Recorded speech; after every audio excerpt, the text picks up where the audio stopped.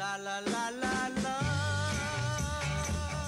La la la la la. La la la la la la. Πιο θεσσαλονικιώτικο τραγούδι από αυτό δεν έχει βγει στην ιστορία; Ίσως το Passenger του Iggy Pop. Ναι. Ναι. Όχι ίσως, το Passenger του Iggy Pop. Και αυτό. Και αυτό. Λα, λα, λα, λα.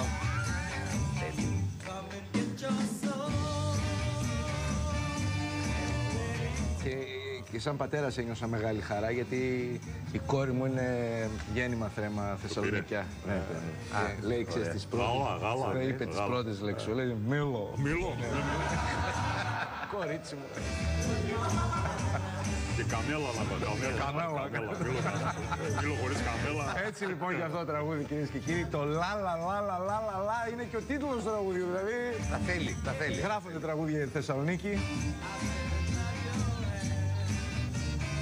Από Ωραία, τους θα είναι- Blenders. Blenders, ό- ό- Όταν γίνει το μετρό, να έχει μουσική που έχουν διάφορα τέτοια Μόνο μέσα, τέτοια να μαθαίνουν οι πράγματα. τουρίστες.